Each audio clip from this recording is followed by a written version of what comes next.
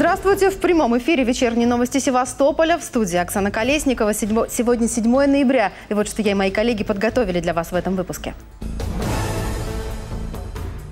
В школе в микрорайоне Бухта Казачья в одном из коридоров обрушился навесной потолок. Эти фотографии появились в сети. Просто из-за человеческого фактора они нарушили элементы крепления и, условно, прессованная бумага упала на пол. Что случилось и как повлияло происшествие на учебный процесс? Когда люди остаются один на один с протекающими крышами, грязными дворами и холодными батареями. Вы знаете, мы э, старенькие, уже мерзнем, на улице теплее. Сегодня в Севастополе прошел рейд по управляющим компаниям. Какие проблемы обнаружили во время проверки? Новая схема движения сегодня заработала на улице Большой Морской. Две полосы и больше нет кругового движения на Лазарева. Как теперь проехать до Одесской и объехать пробку на Большой Морской? Подробная инструкция. Для лечения самых сложных случаев в Севастопольском онкодиспансере заработал линейный ускоритель. Точность э, этих устройств, она э, позволяет, э, скажем так, обрабатывать ткани опухоли с точностью до доли миллиметра. А есть ли в городе специалисты, готовые им управлять, и когда аппарат заработает на полную мощность? Завершились работы по разминированию теплохода «Жан-Жарес». Грузовое судно затонуло 77 лет назад. Сколько опасных находок было найдено за месяц и какова их дальнейшая судьба?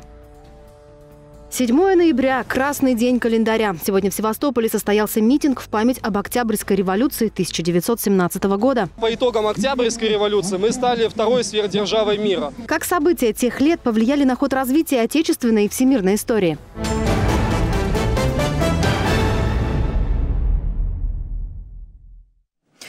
Школе микрорайона Бухта Казачья обрушились потолочные плиты. Эти фотографии появились в сети. На них видно, что в одном из коридоров учебного заведения часть навесного потолка лежит на полу. По имеющейся информации, во время происшествия детей в здании не было. Никто не пострадал. Вчера э, около 19.00 вечера прошло обрушение Армстронга, потолочных покрытий плит, как вы видите, мы сообщили тут же подрядчику и заказчику строительства.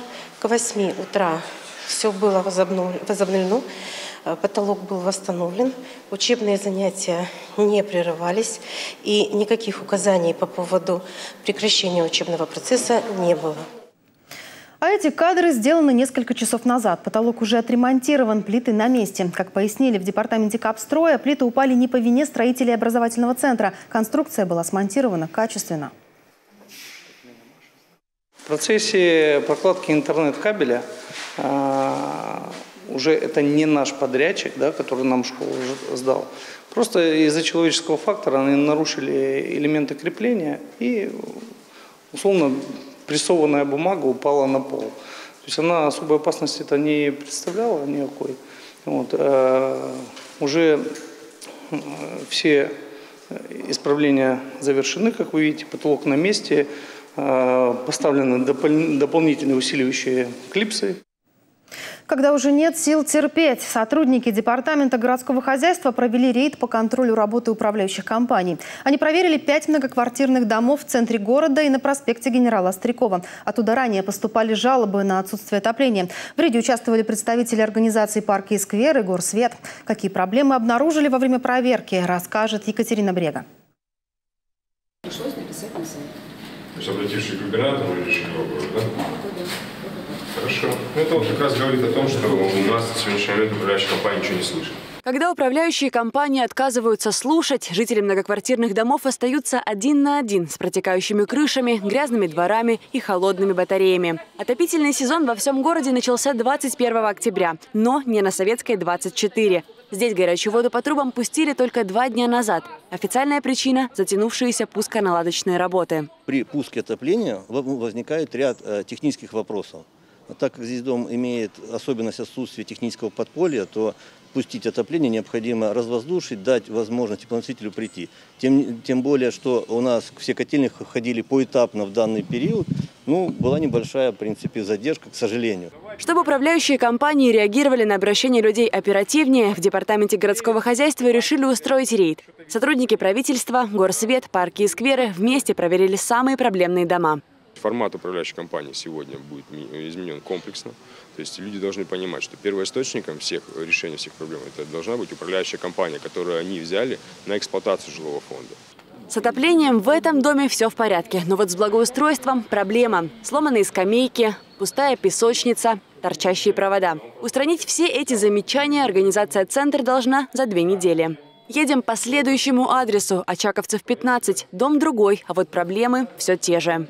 А вот это вот вся инфраструктура, у каждого свое. Вы знаете, мы э, старенькие, уже мерзнем. На улице теплее, чем не, не, не обсуждается. в квартирах. Отопление здесь не подключали до 2 ноября. В этот день жители не выдержали и написали губернатору в соцсетях. На обращение отреагировали моментально, хотя до этого в управляющую компанию направляли несколько запросов. И безуспешно. Такая же история и на проспекте генерала Острякова. Мы обращались в диспетчерскую. Ну, нам, как они сказали, что все будут передавать. Ну, никто к нам не приходил. Теперь трубы теплые и в этом доме. И бонус для жителей. При появлении съемочных групп в подъезде начали быстро вкручивать лампочки. Риды от Департамента городского хозяйства работают как горькая пилюля для управляющих компаний. И пока они не наладят взаимодействие с жителями, такие проверки будут проводить каждую неделю. Екатерина Брега, Деливер Меджитов, Севастопольское телевидение. А с сегодняшнего дня на улице Большая Морская новая временная схема дорожного движения. Это связано с началом реконструкции улицы и заменой подземных коммуникаций. От площади Лазарева до пересечения с улицей Адмирала Октябрьского движения для автомобилей по левой полосе закрыли и сделали его двухполосным. При этом все автомобилисты смогут пользоваться полосой для общественного транспорта. Также на площади Лазарева теперь нет кругового движения. Там разместят строительный городок. Со спуска Шестакова до улицы Одесской можно проехать через улицу Воронина и Матросский бульвар. Объехать пробку на Большой Морской можно по маршруту улица Айвазовского, Капитанская, Адмирала Владимирского, Карантинная, Пожарова. А попасть на улицу Льва Толстого можно через улицу Айвазовского и Капитанскую. Чтобы на Большой Морской не возникали заторы, водителям разрешили бесплатно парковаться на улицах Центрального холма, на спуске Шестакова, Суворова и Одесской. А на улице Партизанская можно оставлять свои автомобили на обеих сторонах дороги. А на Советской восстановили ранее демонтированную историческую брусчатку. Здесь продолжается капитальный ремонт. Напомним, покрытие было снято в ходе строительно-монтажных работ. Ранее на участке побывал глава Севастополя Михаил Развожаев. У него возникло много вопросов к проводимым работам. По результату проверки глава города поручил специалистам восстановить историческую брусчатку на участке и вывести ее на нижний уровень с дорогой. Все работы сейчас выполнены. Бюджет Севастополя получит дополнительные деньги на социально-экономическое развитие города. Об этом на заседании правительства сообщил в Рио губернатора Михаил Развожаев. Финансирование в виде дополнительной субсидии рассчитано на три года. Это федеральные средства. Городская казна должна пополниться более чем на 26 миллиардов рублей. Решение о выделении денег приняли на прошлой неделе в Москве на совещании по вопросам социально-экономического развития Крыма и Севастополя, которое прошло по поручению Владимира Путина. На совещании под председательством вице-премьера премьера Дмитрия Казака присутствовал и Михаил Развожаев. Мы получим дополнительно в наш бюджет 26 миллиардов 336 миллионов рублей. В 2020 году это будет 7 миллиардов 106 миллионов рублей. Это ключевые направления, по которым нам нужно будет организовать работу. Ремонт благоустройства общественных пространств, все, что касается приведения города в порядок, капитальный ремонт многоквартирных домов, дополнительная будет целевая субсидия на закупку техники, также коммунальной мы получим дополнительные средства. И э, один из важнейших приоритетов, который в том числе обсуждался и на Госсовете, вот с Александром Андреевичем в прошлой неделе тоже активно по этой теме работали, это приведение медицинских учреждений к стандартам оснащения, чтобы нам пройти лицензирование. Для прохождения лицензирования медучреждениям выделят наиболее крупную сумму из всех статей расходов – порядка 7,5 миллиардов рублей. Кроме того, деньги выделяют и на разработку проектно-сметных документаций для объектов, которые позднее войдут в федеральную целевую программу. Напомним, в среду в законодательном собрании в первом чтении приняли трехлетний бюджет города. Теперь в связи с новыми поступлениями в него внесут коррективы. Эти дополнительные средства потребуют очень эффективной и слаженной работы правительства, потому что э, деньги большие, это деньги дополнительно к тем средствам, которые у нас уже есть. А мы знаем, что у нас тоже дополнительно, у нас уже в действующем бюджете достаточно серьезные планы были и Владимира Васильевича по благоустройству, и по ремонту улично-дорожной сети, и по другим направлениям, и также по ремонту объектов здравоохранения. Поэтому, конечно, здесь нужно будет очень качественная организация, очень своевременное планирование, проведение всех конкурсных процедур. И здесь, конечно, мы также рассчитываем на э, второй элемент, о котором, в общем-то, работа ведется практически э, с первых дней, когда я приступил к своим обязанностям, это к э, определению единого поставщика по капитальным инвестициям. В Севастополе начнет работу Центр психолого-педагогической, медицинской и социальной помощи. Соответствующее постановление приняли сегодня на заседании правительства. Планируется, что центр будет расположен на базе детского сада номер 130, один из корпусов которого уже оснащен необходимой материально-технической базой. На данный момент в России действуют 457 подобных центров, из них 309 муниципальные, 149 регионального уровня. Таких учреждений нет только в пяти регионах. До этого момента в этом списке был и Севастополь. В дальнейшем сеть таких центров в городе расширят. Они занимаются э, упорядочением работы в реализации систем, системного подхода к решению задач обеспечения качественного образования для детей-инвалидов, детей с особенностями здоровья. Причем количество детей у нас уже более 4 тысяч таких детей, э, при том, что из 87 тысяч. И тут же у нас эти центры должны заниматься теми детьми, которые э, испытывают трудности в обучении. Практически полный оборот и точечное воздействие на очаг заболевания и высокий процент выздоровления. Именно такие результаты получают севастопольские врачи с помощью нового линейного ускорителя. Как работает прибор, знает Павел Мирошниченко.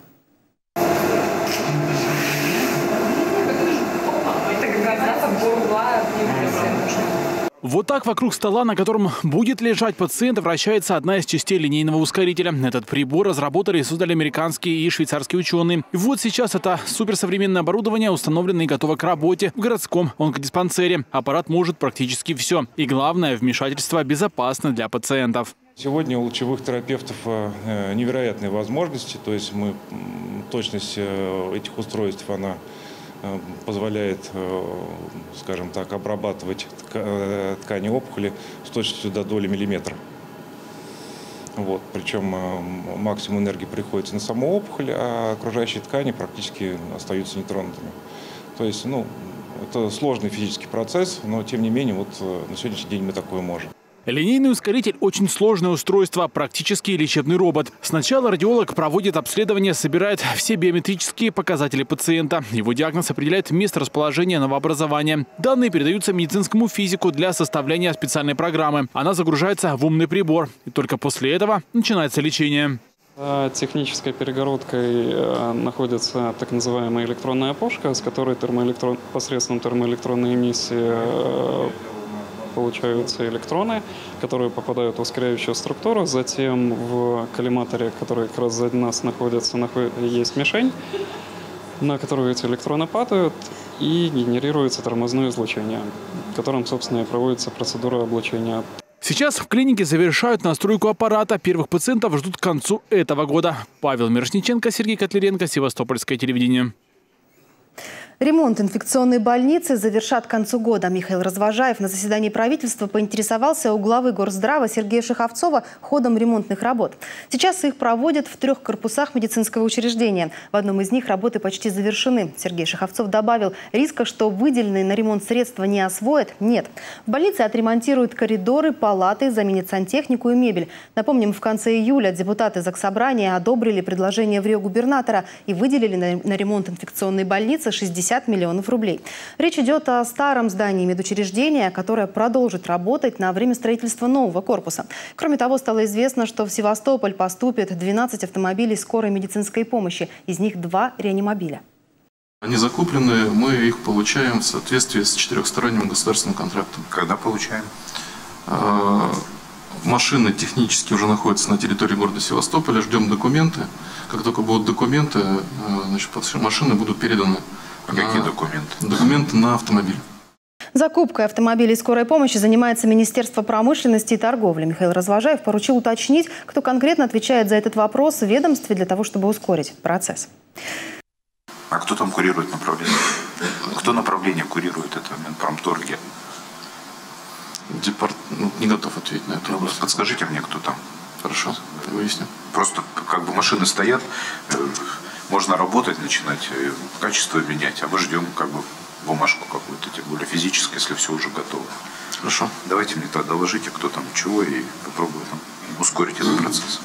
И проще попасть к врачам и избежать очередей. Решение этих проблем ищут в Департаменте здравоохранения. Один из способов использования современных технологий. Такие разработки есть в медицинском информационно-аналитическом центре. Можно ли уже сейчас записаться к специалисту, не выходя из дома? И решают ли на самом деле новые технологии проблему очереди к врачам? Узнавала Анастасия Синица. Окно в электронную регистратуру открывается всем, чьи данные знает портал госуслуги.ру. Новую систему запустили этим летом. Три месяца она работала в тестовом режиме, а сегодня показали журналистам. С помощью электронной регистратуры можно записаться к врачу или отменить назначенный прием, не выходя из дома. Все через личный кабинет. Алгоритм действий несложный. Нужно перейти на вкладку «Запись на прием», выбрать интересующее вас учреждение – Допустим, у нас это будет акушерский профиль. Здесь есть галочка а, «Учитывать только свободные талоны при записи», что как бы упрощает а, выбор. Выбираем врача-акушера-гинеколога, нажимаем кнопку «Записаться», выбираем пациента. Записать на прием можно как себя, так и ребенка, если о нем есть сведения на госуслугах. Далее выбираем удобное время и подтверждаем заявку. Распечатываем талон и идем в поликлинику. В медицинском информационно-аналитическом центре разработали и мобильное приложение электронной регистратуры. Функции те же, но это пока. Система – стартовый этап будущей виртуальной поликлиники. Ее главная задача – облегчить жизнь пациента и максимально сэкономить время. В будущем мы выстраиваем виртуальную поликлинику, в которой будут доступны а, лабораторные анализы, а, снимки КТ и МРТ, которые вы проходили в больницу. Можно будет заполнить а, дневники здоровья, их увидит врач. У нас был старый портал Доктор 92, и сейчас он обновился. Старая версия также доступна для тех людей, которые уже привыкли к нему, к его интерфейсу. Записаться к врачу можно и через единый контакт-центр здравоохранения. Горячая линия работает ежедневно с 8 утра до 17 часов. Телефон многоканальный, на линии одновременно 13 операторов. За день поступает до 200 обращений, но получить талон не всегда удается сразу. Девушка, скажите, пожалуйста, вам удобно будет перезвонить нам завтра в 8 утра? В данный момент, к сожалению, я не могу вам предложить свободные талоны. На нехватку талонов люди жалуются и в соцсетях. Пишут, ждать зачастую приходится месяцами. В Департаменте здравоохранения о проблеме, судя по всему, знают. Вот так Горздрав прокомментировал одну из жалоб в инстаграме Михаила Развожаева. С гинекологами, как и с другими врачами первичного звена, проблема одна – дефицит медицинских работников, отсюда и очереди. Но мы искренне надеемся, что принятые меры поддержки докторов, например, компенсация жилья врачам первичного звена, региональные доплаты и так далее, позволят выправить ситуацию. Очевидно, что одними технологиями с очередями к врачам не справиться. Задача – решить кадровый вопрос, особенно в первичном звене – поликлиниках, ФАПах. Они ближе всего к людям. И именно там не хватает специалистов. Сейчас правительство Севастополя ищет разные способы справиться с проблемой. Так, в октябре город предложил компенсировать стоимость арендованного жилья. Выплаты будут по 20 тысяч рублей. В бюджет деньги уже заложили. На очереди вопрос с заработной платой. Анастасия Синица, Александр Тарасенко, Севастопольское телевидение. О развитии здравоохранения в Севастополе пойдет речь в новом выпуске программы «Итоги недели» уже завтра. И вот некоторые темы выпуска. Когда на улице теплее, чем в квартире, почему в некоторых домах Севастополя до сих пор не дали отопления? Кто виноват, что батареи холодные? Ресурсники или управляющие компании? Почему в некоторых многоэтажках проблема уходит корнями в прошлый век? Разбирались, как быстро управляющая компания реагирует на жалобы и куда писать, если ситуация с батареями леденит душу. Самострои пересчитают. Минстрой России собирается создать реестр объектов самовольного строительства. Где будут искать незаконные дома? Зачем нужен реестр? И есть ли перспектива у строительной амнистии? Какая судьба ждет незаконные постройки в Севастополе? И почему частные интересы наступают на культурное наследие? Узнали, как будут наводить порядок с самовольными постройками в нашем городе и почему без суда здесь не обойтись. Выход за границы Севастополь как новый путь для международной торговли. Что даст городу и стране сотрудничество с Сирией? О чем договорились главы Севастополя и Тартуса на личной встрече? Новые рабочие места и проекты. Какие перспективы сотрудничества открывают для севастопольцев? С экспертом по международным отношениям обсудили новую роль Севастополя в российской экономике. Медицина онлайн. Правда ли, что записаться на прием к врачу стало проще? Когда в нашем городе заработает система «Виртуальная поликлиника» и можно ли будет в ней без проблем получить электронный талон? Какова истинная причина гигантских очередей к врачам и сократят ли их модные электронные нововведения? Выясняли, когда, наконец, в Севастополе исчезнут очереди к медицинским специалистам и причем здесь недавняя поездка Михаила Развожаева в Калининградскую область. Арт-идея, о чем молодые художники, фотографы, хореографы, музыканты и предприниматели просят власти Севастополя. Где может появиться постоянная резиденция творческого сообщества города? Что севастопольцы подсмотрели в Москве, Санкт-Петербурге и Амстердаме? Мы пообщались с творческой молодежью и выяснили, зачем Севастополе собственный артплей и чем художникам приглянулись заброшенные заводские цеха.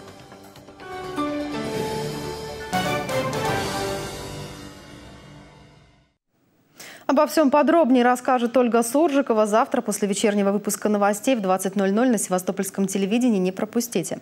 А вы смотрите вечерние новости Севастополя. И вот о чем мы расскажем вам далее. Завершились работы по разминированию теплохода «Жан-Жарес». Грузовое судно затонуло 77 лет назад. Сколько опасных находок было найдено за месяц и какова их дальнейшая судьба? 7 ноября – красный день календаря. Сегодня в Севастополе состоялся митинг в память об Октябрьской революции 1917 года. По итогам Октябрьской революции мы стали второй сверхдержавой мира. Как события тех лет повлияли на ход развития отечественной и всемирной истории?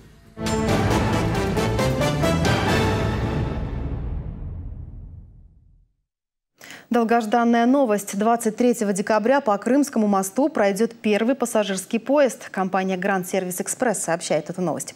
Это официальный оператор ЖД-перевозок на полуострове. По маршруту Санкт-Петербург-Севастополь состав отправится с московского вокзала в 14 часов, а билеты начнут продавать уже завтра, 8 ноября. Поезд возобновит регулярные пассажирские перевозки между материком и полуостровом. Напомним, строительство железнодорожной части Крымского моста началось в феврале 2016 года и завершится в конце этого. Сейчас Сейчас на стройплощадке устанавливают оборудование для управления железнодорожным движением. Также продолжается тестирование подсветки на фарватерном участке. Арки и опоры под ними будут светиться цветами российского флага. Одновременно с местом с мостом строят Таманский и Керченский подходы. Это дороги длиной 40 и 18 километров соответственно. Они свяжут мост с сетью железных дорог на материке и полуострове. А сегодня утром украинский контрольный пункт въезда-выезда Каланчак, расположенный напротив пункта Армянск, прекратил пропуск лиц через государственную границу. По сообщению пограничного управления ФСБ России по Республике Крым, украинская сторона границу закрыла.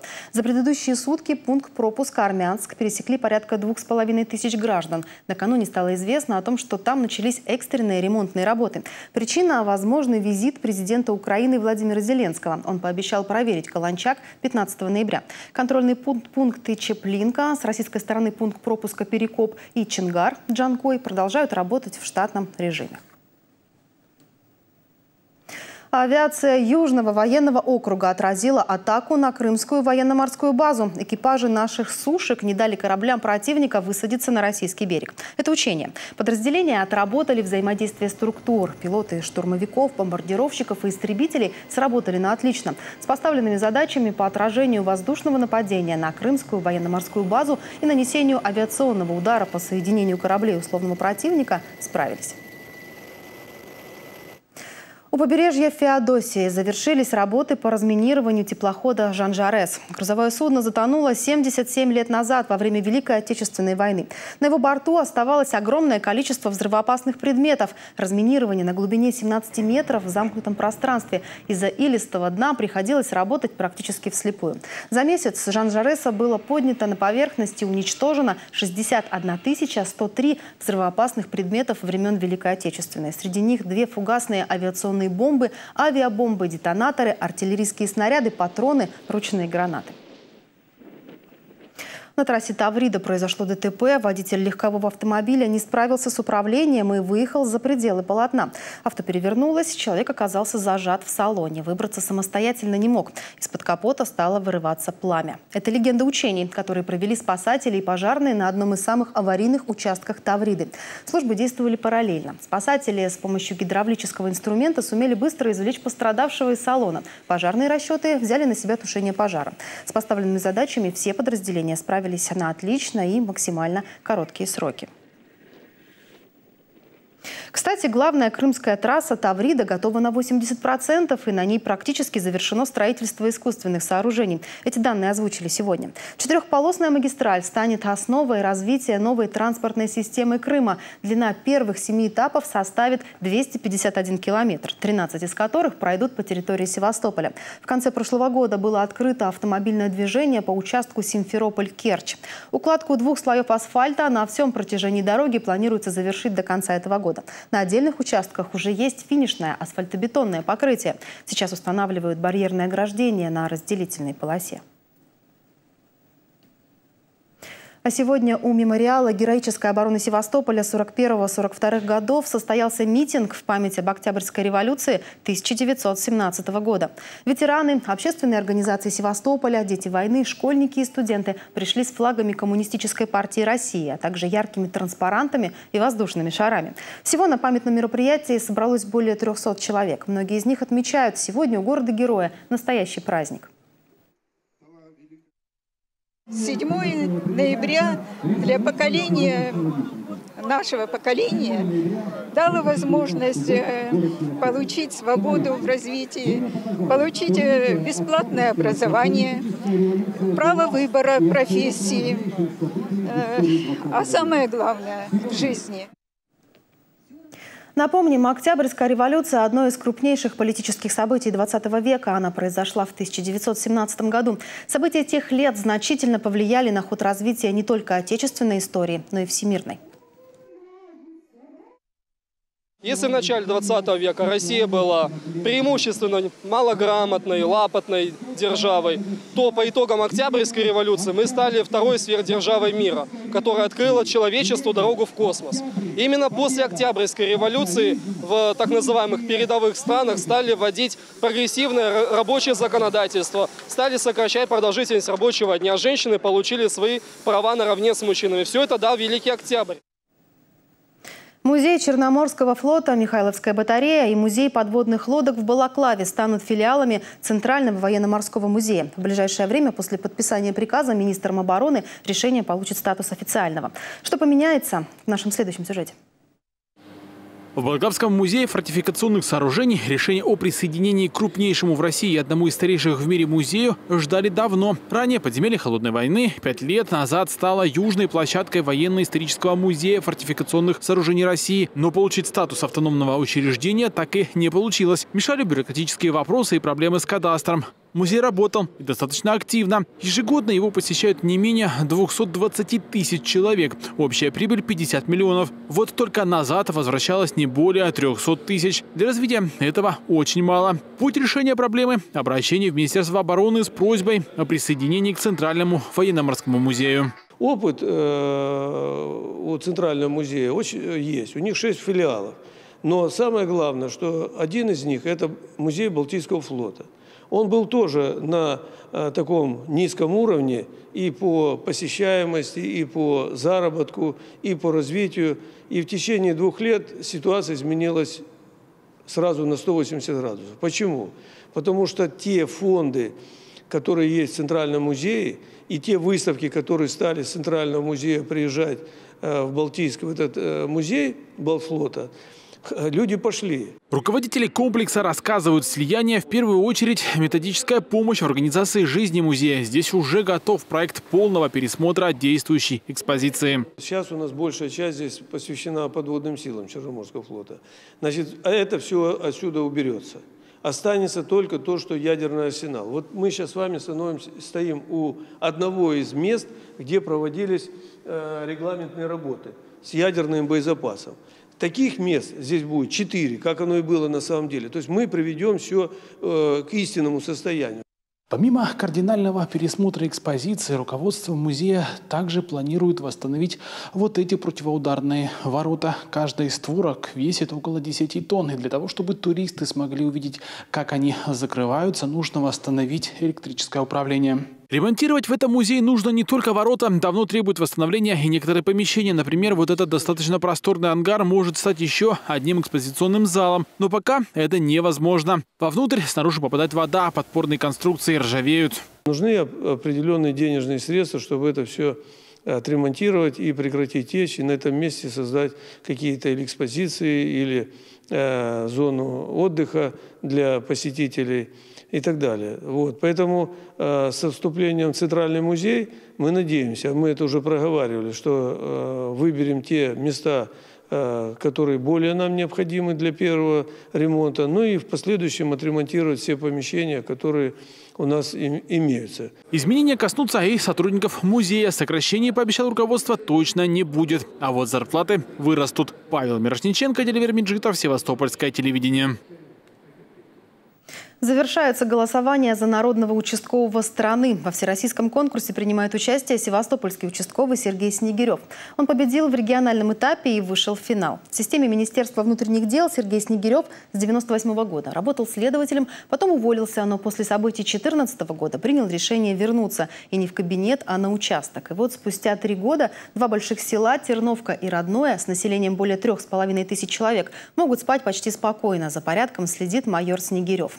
За это время раскрыто более 30 преступлений и составлена не одна сотня административных протоколов. Сейчас идет финальное онлайн-голосование. Оно началось 1 ноября. Итоги подведут 10 пока у Сергея Снегирева не очень много голосов. Лидирует представитель Ивановской области. У него, за него уже проголосовало почти 15 тысяч человек. Напомню, победитель, кроме звания народного, получит приз – автомобиль УАЗ «Патриот». И в завершение выпуска о погоде. Завтра в Севастополе тепло и солнечно.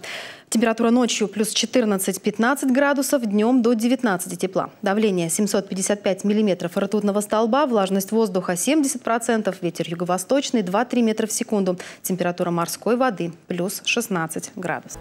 А сразу после выпуска смотрите продолжение сериала «Банды». А это были вечерние новости Севастополя. В студии работала Оксана Колесникова. Спасибо, что вы с нами. И до встречи завтра.